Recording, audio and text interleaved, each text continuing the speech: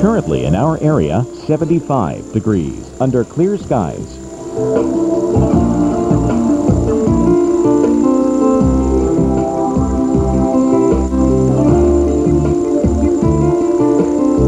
Here's our local Doppler radar.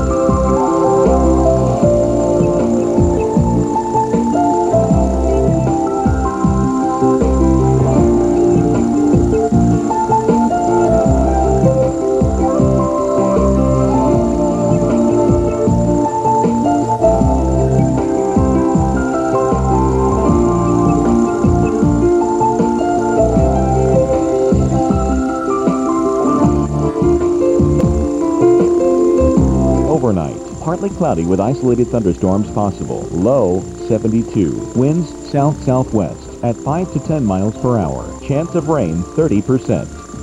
For Thursday, strong to severe thunderstorms. Storms may produce large hail and strong winds. High 80. Chance of rain 70%. Rainfall may reach 1 inch. And Thursday night, thunderstorms early. Low 65. Chance of rain 40%. Here's our seven-day outlook.